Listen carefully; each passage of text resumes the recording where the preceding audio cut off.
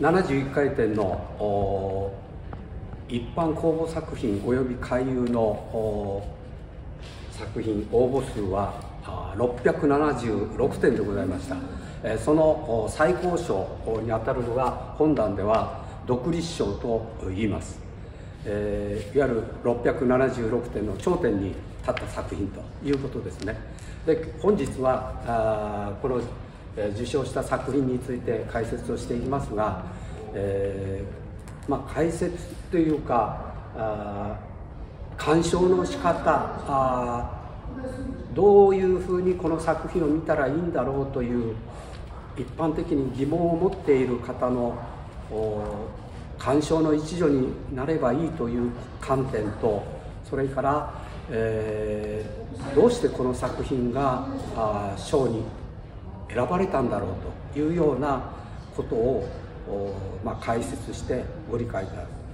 えー、そもそも鑑賞というのは10で自由に鑑賞していただければいいんですけれども、えー、なかなかその辺どう鑑賞したらいいのかっていうのがわからない方もいるということで、えー、若干の説明をするということでございます。それではこの676点の頂点に立った独立賞を受賞した作品について述べたいと思います。まず作者はですね、栃木県にから出品された鈴木俊和さんという方、書かれている文字は「海」という文字です。それで、この作品がどうしていいのか皆さんえー、私が説明する前に若干鑑賞してみてください、えー、作品というのは見た瞬間に、えー、見る側にどういう問いかけがあるかということが大切です。この作品を見ますとまず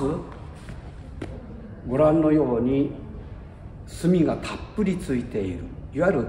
純筆というんですが潤っているところ。そしてこの右側の方に来ると作りの方に来るとかすれています。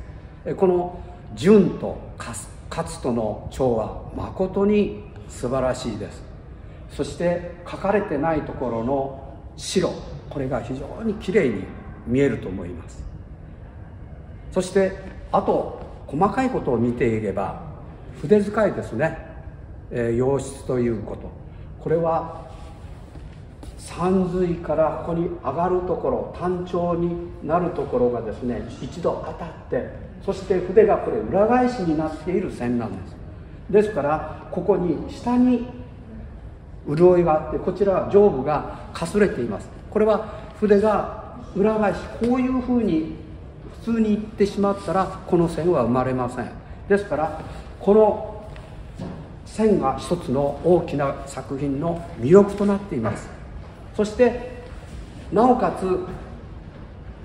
ここにワンクッションありますね。ややもすると間違い字を書いてしまうことがあるんですがきちんと「海」という字相対で書いてある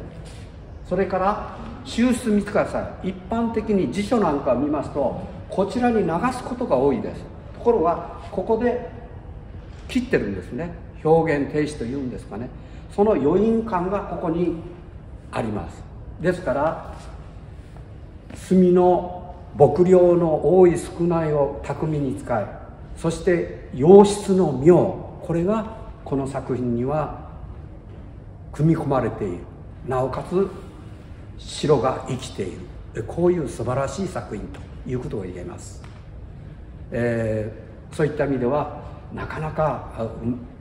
書けないあのある程度